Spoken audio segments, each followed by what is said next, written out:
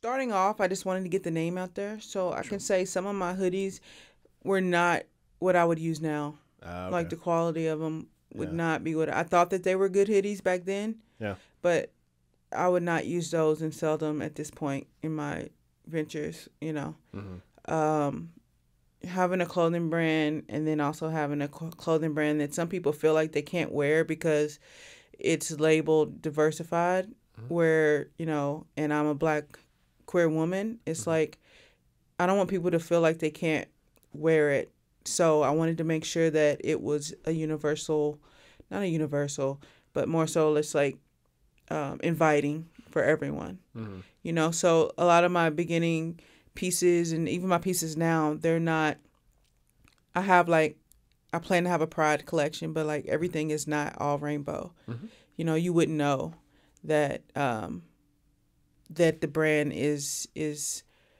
uh, a brand by you know a, a queer queer family Mhm. um or and it's not hidden but i don't think everything has to have you know big logos all on it or Yeah. you know a lot of colors a lot of people don't want to wear that regardless Subtle- if they're queer or not you know is fine. yeah. like it doesn't have to be all over the place but like i most definitely am this is a, also another announcement that i will have a um a queer section um on my website Wow. now. Um it's going to be focused on uh, most definitely identity and colors of you know she he they them. Like it's going to be um, a place a safe place for people who want to represent and want to be loud and proud they can go and buy something That's amazing. so um, That's amazing. that's something that i'm working on for very sure nice. as I- well. I'm very happy to be also, you know, helping get your name out there too. Mhm. I saw in the analytics. I I have fans in Australia and Germany. So hey. yeah exactly Um, and so yeah, you you posted this on LinkedIn about oh what was the time frame? I remember uh, it was probably about February. So uh, you posted that I am a powerful brand. I will no longer allow denial letters take anything away from me and what I feel I am worth. Being a black lesbian woman, this that is very confident and can hold a conversation in any room. Scares a lot of people. So, uh, I mean, when you posted that, and then you just, I mean, at least for myself, when it comes to posting about your episode, for example, it's like, okay, I want to read the read the caption a couple times, make sure my grammar is good, make sure this all makes sense. When you read that and just sent it out to the world, how did you feel? Um, I feel like there's a lot of people that are are like are in positions like myself Mhm.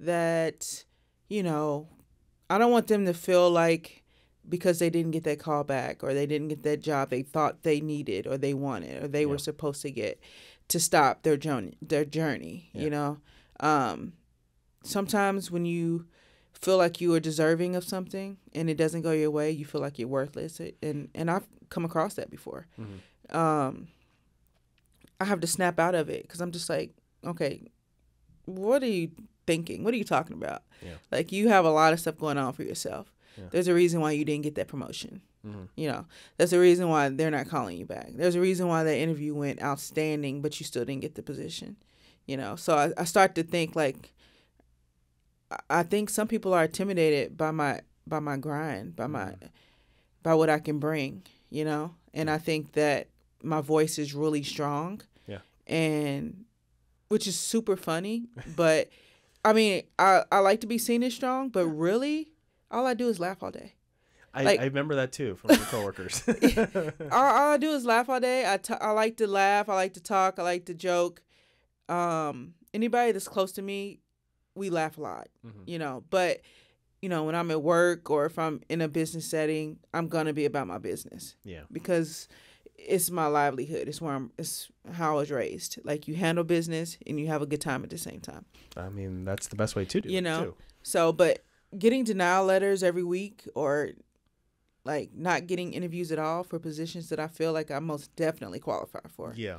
It it raises a few eyebrows for me. Yeah. But then it's also I'm like God has a bigger plan for me. Mhm. I'm not supposed to be working for a brand with their own ideas and putting it out to the world and using that. I'm supposed to be doing that for myself. Yeah. So You're not, um, you're an idea woman. You're not you know want to follow a pathway that's already set. Yeah. So, like to be honest, like I'm so happy that I'm getting those denial letters because it's pushed me. Yeah. It's pushed me to go further. It's pushed me not to quit. Mhm. So, you know, to me, you know, I get in my feelings sometimes, but then at the end of the day, I'm just like, you know what? What are you gonna do about it? Like, what are what are you gonna do about? it? You gonna go in there and demand it? You're gonna go in there Yeah. and say, no, I am. I'm gonna take this job. I'm gonna work for you. I'm gonna make you millions of dollars. Mhm. I'm gonna be making a fraction of that and still living, you know, mediocre? Mhm. Or am I gonna use that fuel to put in diversified Mhm. and to become a multi million dollar brand and live my life in Calabasas? You know? No.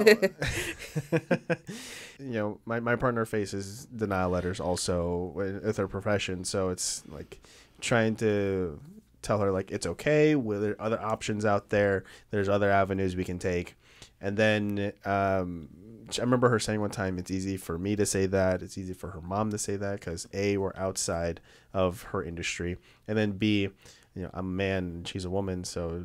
She, I remember her saying that in tears. It's like you, know, you you might have some other advantages that she doesn't have, which it's like, as the you know biased person that I am, especially with her, it's like, Mhm. no, I mean, I want to say no, but in reality, it's like Yeah. that's that's she might be true. It might be might be true, Yeah. unfortunately. Uh, but what obviously this was in February, so it didn't really that wasn't really your turning point to start creating diversified. Mm-hmm. What was that? Because yeah, you had. Uh, tell me what the time frame was like. it kinda from- still yeah. was, to it, be it was honest. still okay. Because I was applying for positions when I started this brand. Mhm. Um and never got a bite on much. You know, I've been working for my nine to five. I've been an employee for about fourteen years, and um, I had a small break, a, a year and a half break. But other than that, I've been a, a loyal um, employee Mm-hmm. for fourteen years. Mm-hmm. So to not get interviews and not to get interviews in my direct field, Yeah. um, to be denied certain programs that I most definitely qualify for, and for people to not really look at my resume, like I use all that, Yeah. for fuel Yeah. for myself, Hmm. you know, regardless of the situation. Yeah. You know, in the interviews I go in, of course, I say, okay, I'm a black woman, I have locks. You know, is that going to not give me the interview? Mm-hmm. Is that not going to give me the job? And that's just the society that we live in today. Mm-hmm. Uh, you know, I'm a black woman. I'm an ex professional basketball player. Um, maybe they feel like I'm a threat. Mm-hmm. Maybe I'm overqualified for this job. Mm-hmm. You know, so you know, I just I'm like Michael Jordan at this point. Anything that someone says or looks at me wrong is gonna be motivation for the future Huh. for me. Wow. Like I have that competitive spirit for Yeah. sure.